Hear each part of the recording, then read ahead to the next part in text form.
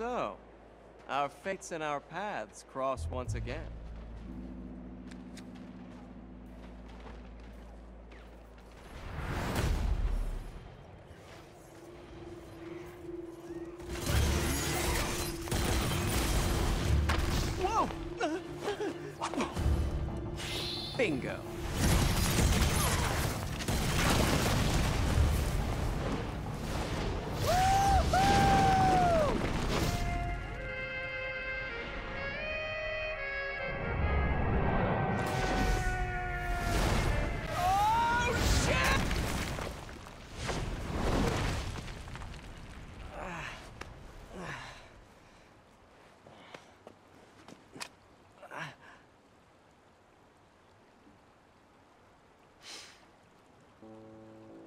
Fleur de la Reine.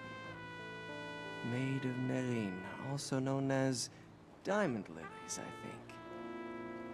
The name Nerine is derived from the Nereids, or sea nymphs. Quite appropriate for this city. Luca? Will you quit calling me that? I'm not a pet or a cat. Oh, wait, you said Luca. Not used to that. How are you, Bayonetta? No matter where I am, you always know how to make an entrance. Nice glasses. Oh, these? Rodan has a soft spot for Shinshu sake from Japan. It was an easy trade to get him to make these for me. And don't get it twisted, Bayonetta. I'm not stalking you. This time at least. Look, I know you've got nothing but secrets. Hell, that goes for anyone, right? But if there's one thing I've learned in my line of work, it's when I found you, I found the story. What on earth are you on about this time? Don't act dumb with me. You know the story better than anyone. The Umbra Witches and the Lumen Sages, two clans that wielded incredible power just 500 years ago. The clans of the Overseer, watching over us all with the eyes of the world, the power to govern light and darkness. But now I know that there really was an Overseer. And this Overseer is the one who created the eyes of the world for humanity, the same ones that the clans held on to so hard. The Overseer was the true creator, the true god of the human realm, the god of chaos. The god of chaos? From what my research has told me, that god used to live right here in Noatur. That's why this place has gateways to each realm of the Trinity of Realities. La Porta del Paradiso, the doorway to heaven, and La Porta del Inferno, the real gates of hell.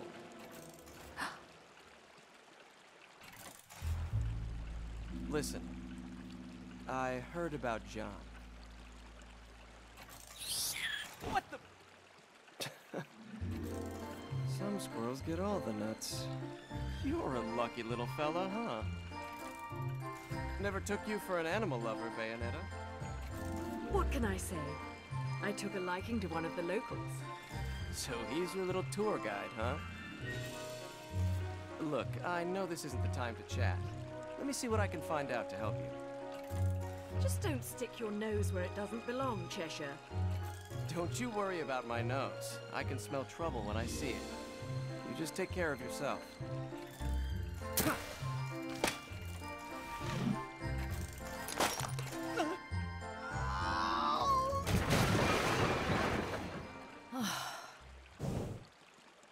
Es ist halt einfach so geil, wie Bayonetta immer wieder versucht, so ernste Momente zu kreieren. Und natürlich ein ernstes Spiel zu sein mit einer, ähm, wie soll ich es nennen? Etwas tiefgründigeren Story rund um Bayonetta. Aber das Spiel nimmt sich halt aber absolut keinen Meter ernst. Das ist halt so geil. Ah, genau. Eine Sache muss ich noch loswerden und damit willkommen erstmal zu Bayonetta 2. Ich habe mir Waffen gekauft. Hatte genug Ringe. Deswegen war ich nochmal shoppen und die rüsten wir jetzt erstmal aus. Wir wechseln einmal bei B die Waffen auf die Rakshasa. Die können wir ebenfalls hier ausrüsten. Dann haben wir nämlich zwei. Das heißt, wir haben Nahkampfwaffen und Fernkampfwaffen auf A. Und äh, auf B haben wir dann die Schwerter. Finde ich eigentlich ganz geil. Wir können ja dann die Waffen wechseln. Indem wir dann äh, hier. Es ist dann quasi ein Set an Waffen, was wir tragen können. Würde nämlich gerne mal mit diesen Schwertern hier kämpfen. Mal gucken, wie das ist. Schießen tut sie immer noch auf Y, weil wir jetzt nicht aktiv im Kampf sind. Aber das mit den Schwertern sieht schon irgendwie geil aus an ihren Schuhen. Ich weiß nicht. Ich finde das irgendwie ziemlich weird. Also auf Y schießen bleibt weiterhin erhalten. Blutroter Mega-Rosenlutscher. Ein Mega-Lutscher, der die Energie erhöht und die Angriffskraft für längere Zeit verstärkt. Okay, ähm, ich würde es mal gerne so machen, dass ich den ausrüste. Aktuell habe ich nämlich keine Lutscher zum Heilen. Deswegen rüsten wir den aus. So. Wir können bis zu drei Gegenstände ausrüsten, weil ich glaube, auf Steuerkreuz nach unten ist irgendwas anderes belegt. You're making it easy. Wir, making it easy. wir, wir können eine Pose dann machen mit... Aber wir können die Gegner produzieren, äh, provozieren, ist es das? You're making it. E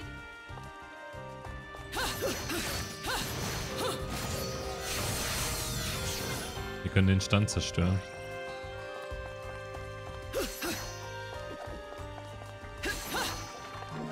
Wir sammeln natürlich noch Items ein, bevor wir dann hier weitergehen. In dem Spiel lohnt es sich auch, wie gesagt, mal einfach unter Wasser nachzugucken. Aber hier ist sonst nichts mehr.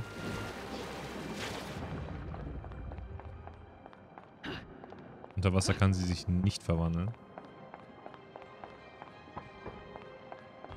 Geht's hier dann weiter? Oder ist es eine Secret-Passage? Ah, ich bin mir gerade nicht sicher.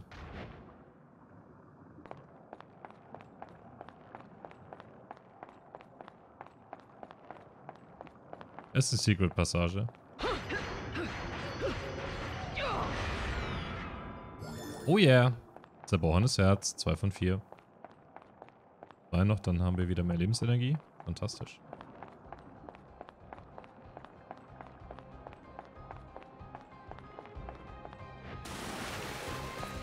Okay, dann auf zum Platz hier. Können wir auch noch einiges zerdeppern.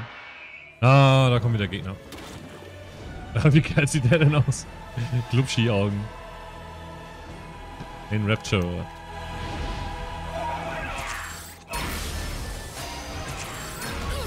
Wow, was war das gerade? Verstärkt er die oder was?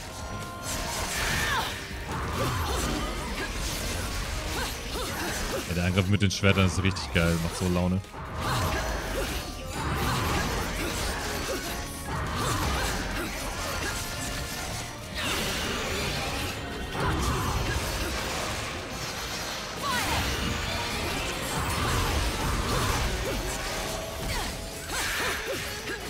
Oh, warte mal. War da nicht eine Waffe irgendwie? Nee. Volltangriff.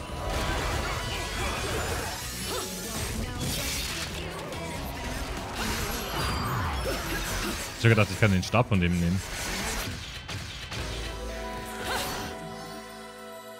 Lila Schmetterling. Dieser Stein in Form eines Schmetterlings besitzt magische Kräfte. Füllt die Zauberkraft bei Erhalt sofort wieder auf. Ah ja. Aber nur bis zu einem gewissen Grad. Nicht komplett. Aber somit kann ich dann wahrscheinlich schnell ein... Äh ah doch, etwas fallen lassen hier. Eine Harfe. Sehr interessant. Waffen der Engel sind nämlich auch sehr stark. Also die können wir dann auch auf jeden Fall mal im Kampf dann einsetzen, sollten wir welche erhalten. Ich vergesse es halt nur öfters, die einzusammeln, beziehungsweise muss dann immer danach drauf achten, wenn die fallen gelassen werden. Es gibt ja noch andere Waffen in diesem Spiel, äh, außer die jetzt. Mal gucken, was für Waffen wir in Bayonetta 2 noch kriegen. Grüner Lorbeer. Ich will eigentlich nur Ringe. Mehr ist es nicht, damit ich mir nicht mal ein paar Sachen leisten kann. Die Sachen in den Gates of Hell kosten einfach so viel, man kriegt aber so wenig Ringe. Die meisten kriegst du halt echt nur von Bosskämpfen.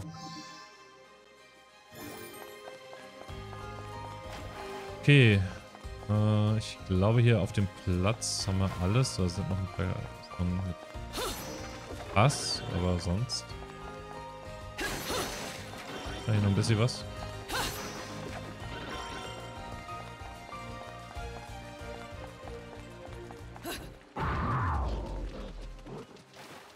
Okay, hier geht's lang.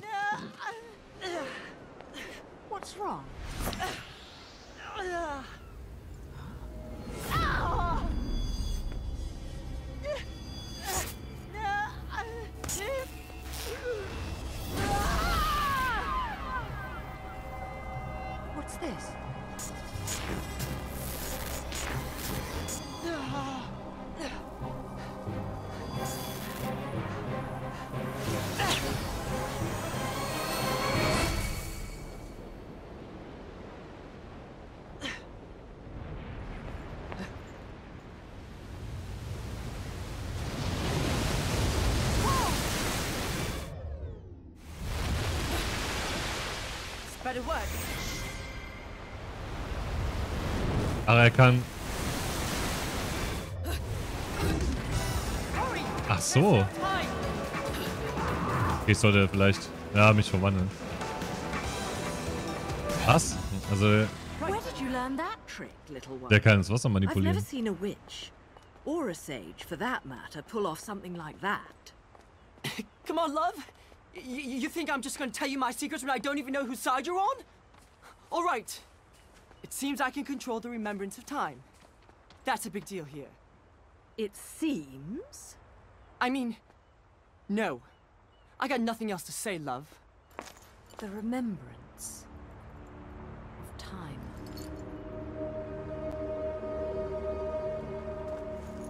What's that you're looking at? Right, let's go. I've got a party and I've no intention of being late. Partytime! Äh, Gebetssaal. 2 von 20.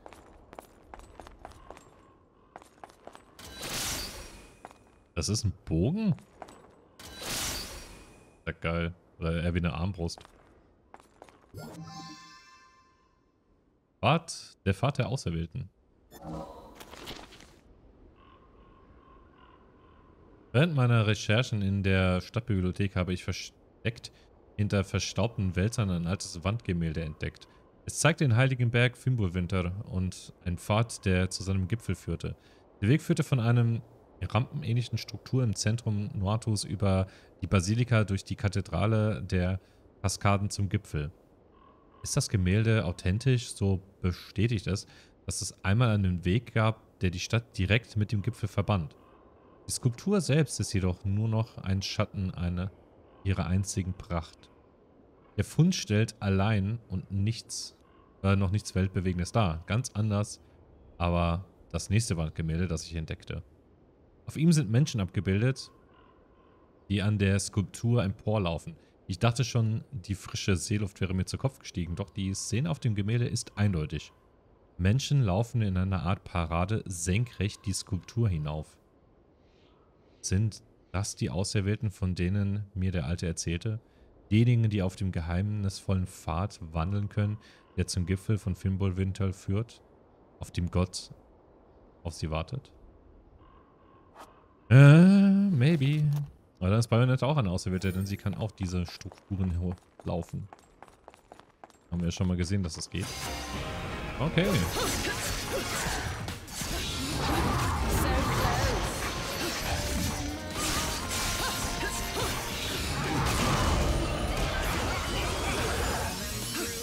Weg mit dir. Autsch.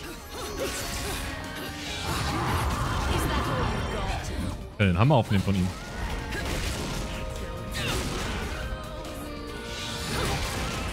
Nö, nö, nö, du. Bleib liegen. Wir haben uns am einen Hammer getötet. Perfekt.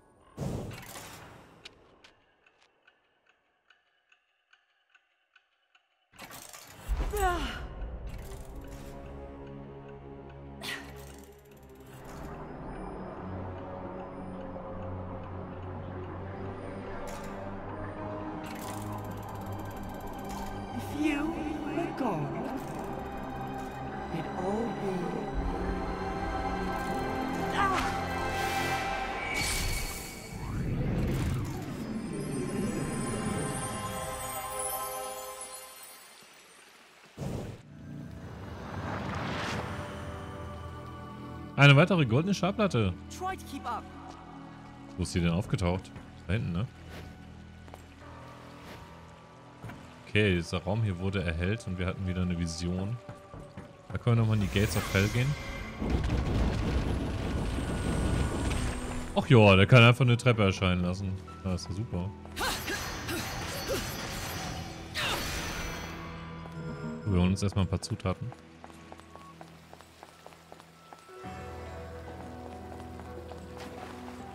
Die goldene Schallplatte nehmen wir natürlich auch mit. Ein Lutscher. So. Goldene LP der Engelshymnen Wilhelm Tell Ouvertüre. Die goldene LP enthält kristallklare Stimmen der Engel. Auf die Oberfläche wurde eine Art Silhouette gemalt. Was ist denn da zu sehen? Kann es echt schwierig erkennen. Aber es ist definitiv auch wieder eine neue Waffe. Müssen wir mal in den Gates of Hell vorbeigucken, was die kostet. Ich glaube aktuell in der 6000, also da kann ich mir, glaube ich, nicht so viel von leisten. Leider. Deswegen gehen wir erstmal weiter, bis wir genug Kohle haben.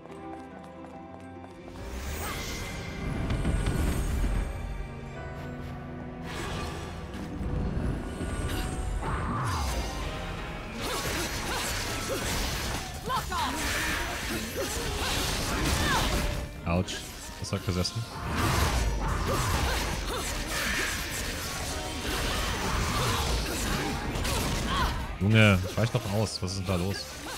Reiten? Achso, dann könnte ich rein theoretisch andere Gegner foltern. Okay.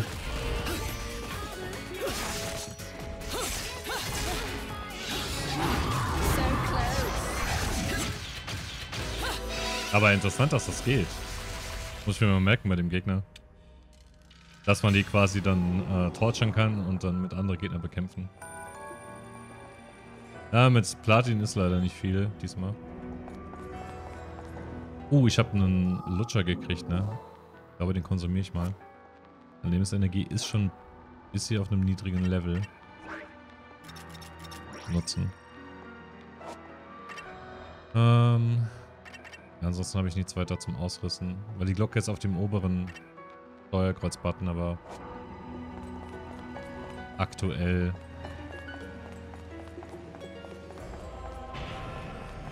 habe ich keine zum Ausrüsten. Du wieder.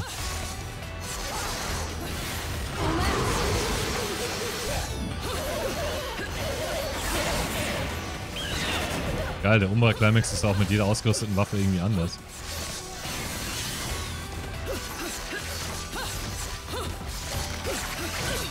Was war das? Oh Gott.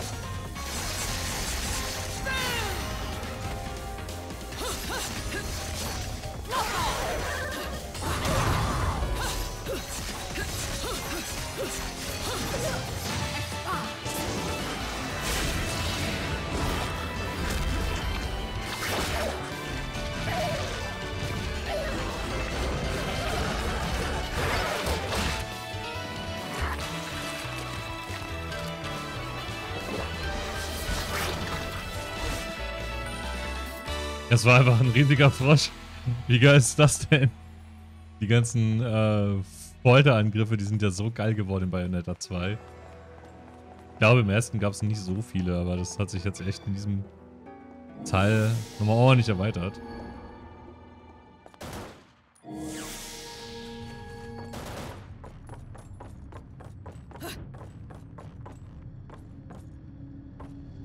Was passiert hier eigentlich? Macht sie sich ready? Wie sie die Gegner mit einer einzigen einzigen Combo. Okay.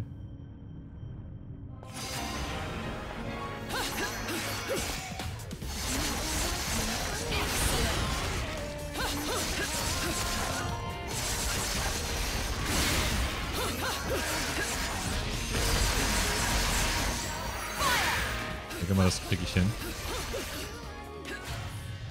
Fuck. Ich habe ihn nicht getroffen. Ah. Not easy. Was passiert eigentlich, wenn ich hier das... Äh, was ist das? ZL. Ah, okay. Anderer Angriff.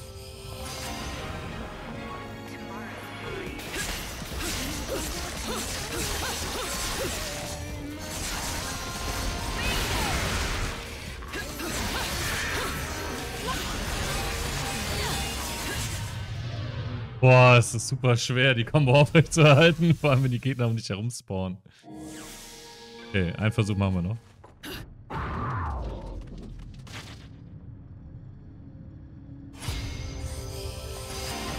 So, ich warte erstmal, bis der andere da erscheint. Was ist er denn?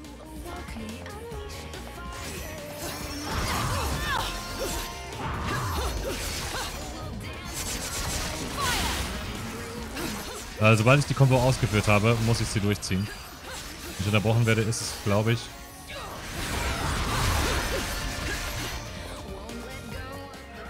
Okay. No. Gut, ich mach das offscreen bis gleich. Und geschafft.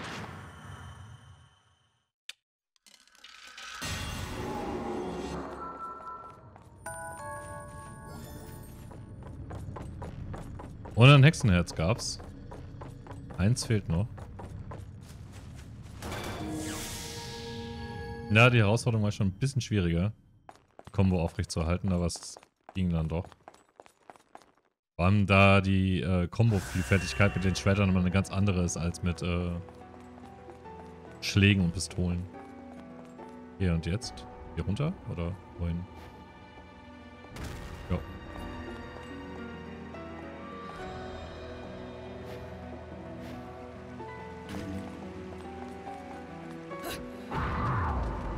Hä? Aber jetzt bin ich doch wieder hier.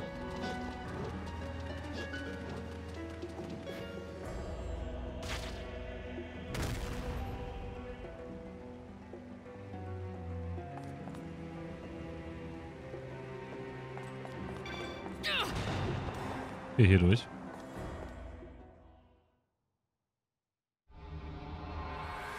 Ah, das war's schon. Die 2 war relativ kurz.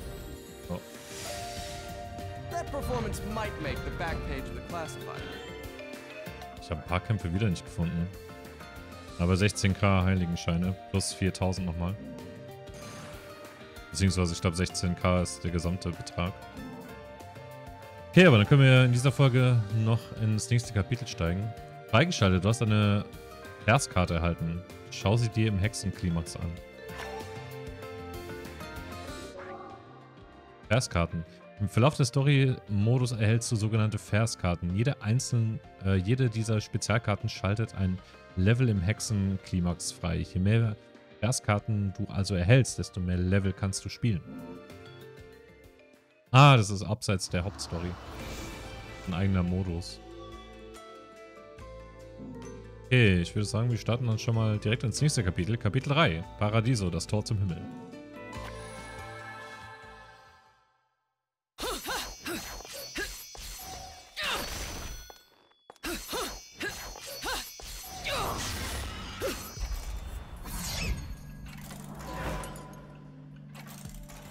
Walk into Fimbulventer. We're going to have to be creative, love, if we're ever going to make it. Look over there. That's the Cathedral of Cascades. It was used for ritual worship of the mountain. Inside, there's a device that can build a bridge to the heavens. It'll take us halfway up Fimbulventer. An express pass. Right, love? Seems something finally came to mind, little one. While you're in the remembering mood, You wouldn't happen to know where the entrance to Inferno is up there, would you? Inferno? You must be in some shit if you're volunteering to go there. Let me put it this way, love. Once we get to the mountain, you'll get your choice of going up or going down. Fimbulventer doesn't let you just stick around. And which way will you be going? Me? What's the matter, little one? Scared of what comes next? Shut up! Just get me to the mountain. Little one! Get away from me!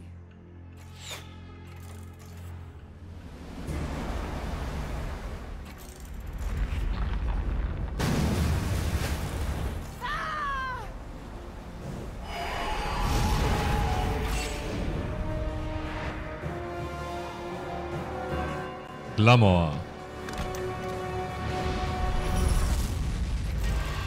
Komm wieder.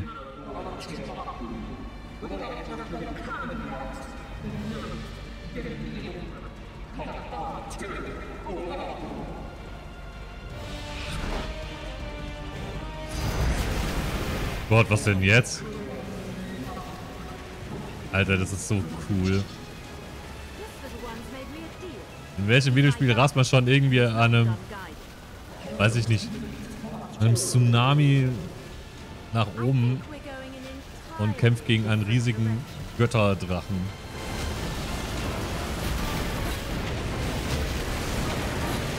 Ich kann nur mit Fanschuss äh, ihn bekämpfen erstmal. Munition haben wir zum Glück unendlich.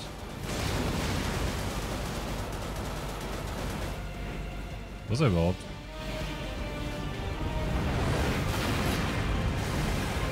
Da ist er wieder.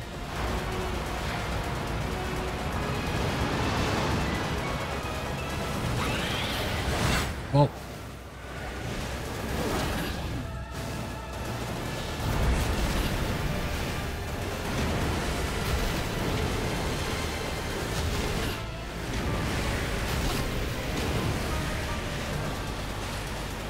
Ganz schön anstrengend, der Gute.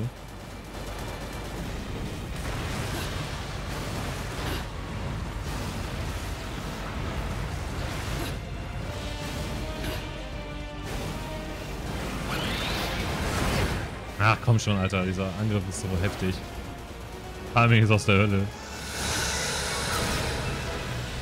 Nope.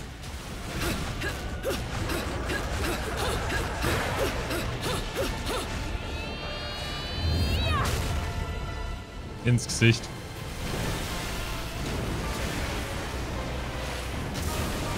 Okay, jetzt sind wir im Inneren. Ah, dieses Spiel ist einfach ein Actionfeuerwerk. Ich lieb's einfach. So geil. Ich kann mich nicht daran satt sehen, wie übertrieben dieses Spiel einfach ist. Platinum Games einfach so, ja, wir schrauben den Actiongrad von Bayonetta 2 einfach um 3 Millionen Prozent nach oben im Vergleich zum ersten Teil. Was ist hier kaputt? Ah. Oh, ich kann Nahkampfangriffe, jawohl.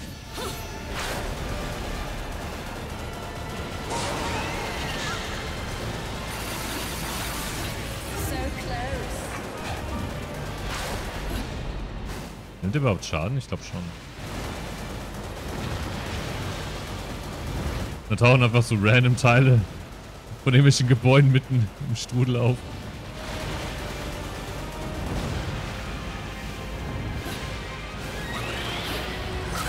Ach, fuck off.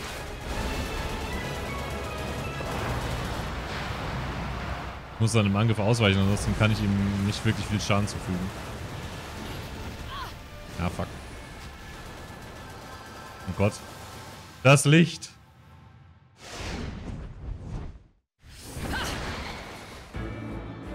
Das Tor zum Himmel.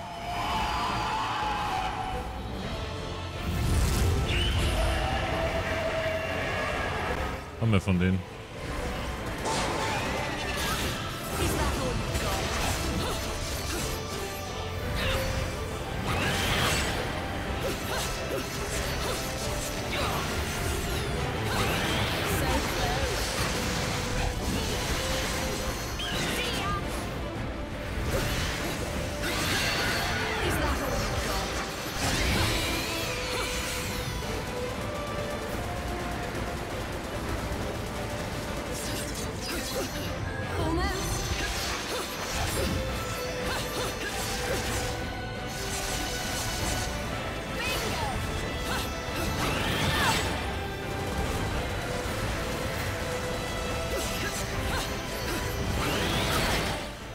Mann, dieser Schnappangriff auszuweichen ist halt echt richtig uncool.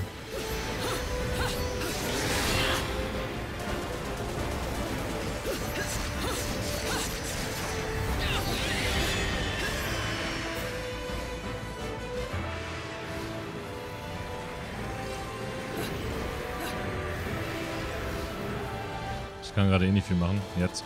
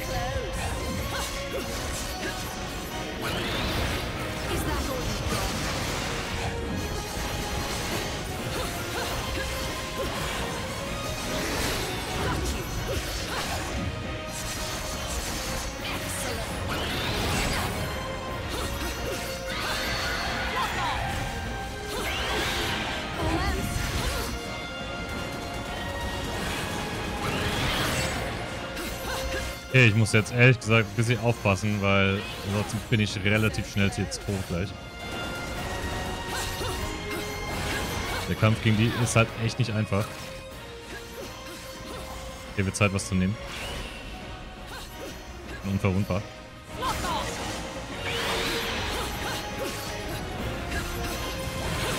Hält aber nicht lange an.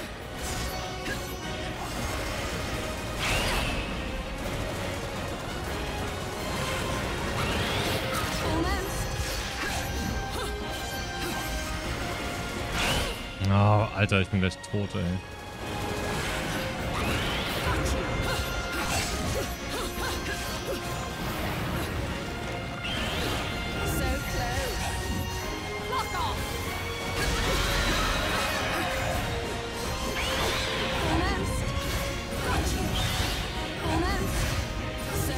So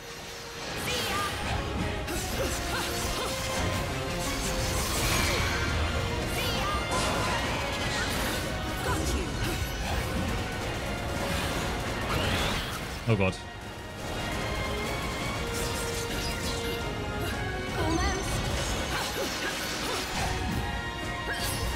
What? Ich bin tot? Wo kam der denn Schlag denn her? Okay.